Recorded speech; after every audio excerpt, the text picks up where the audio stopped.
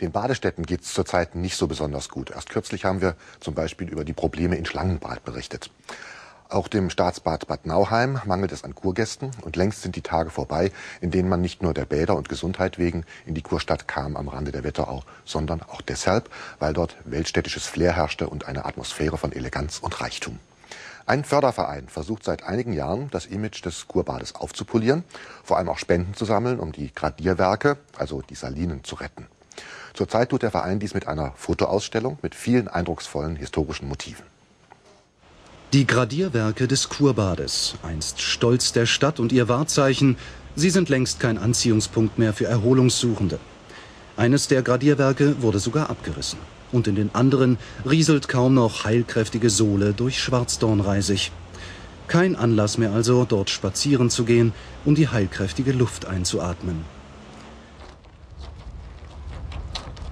An jene Jahre, als Bad Nauheims Name in aller Welt noch einen unbeschädigten Ruf genoss, Fürsten und Könige der Gesundung wegen in die Kurstadt pilgerten, erinnert eine Fotoschau in der Trinkkuranlage.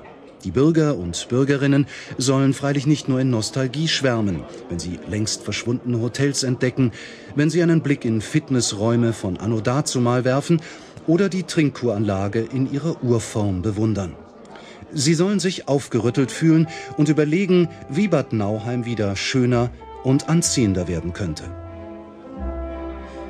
Mehr als 100 Fotos aus dem Stadtarchiv und Privatsammlungen hängen an den Wänden, ausgewählt vom rührigen Förderverein der Kurstadt, der sich dafür einsetzt, den verblichenen Namen des einstigen Weltbades ein wenig aufzupolieren. Wie sich heute äh, Bad Nauheim darstellt, hat es von diesem ehemaligen Prädikat unheimlich viel verloren. Und wir vom Förderverein wehren uns mit allem Nachdruck dagegen und möchten Nauheim wieder, sagen wir nicht zum alten Glanz, aber doch äh, es wieder aufpolieren, dass wir bald wieder viele Gäste hier in Bad Nauheim begrüßen dürfen. In den Jahren nach dem Zweiten Weltkrieg Nachdem die Bombenschäden behoben waren, ging in Bad Nauheim die Zahl der Badegäste steil in die Höhe, fast wie um die Jahrhundertwende.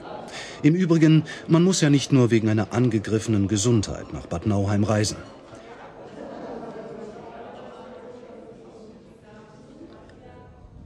Einzigartig ist nach wie vor die Jugendstilarchitektur der Badeanlagen.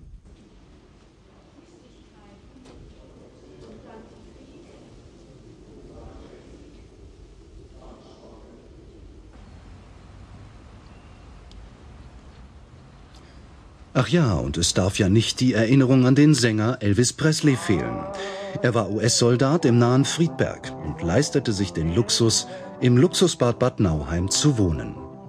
Aber auch Blut zu spenden.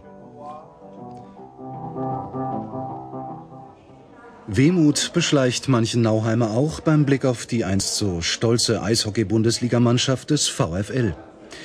Ein Weltbad, das zugleich Sporthochburg war. Wo gab es das noch? Bad Nauheim aber hat, wie andere Kurorte auch, zu wenig Geld. Und der Staat ebenfalls. Viele Millionen müssten her, um alles zu renovieren. Der Förderverein hat immerhin rund 100.000 Mark schon gesammelt, um die ärgsten Schäden an den Gradierwerken zu reparieren.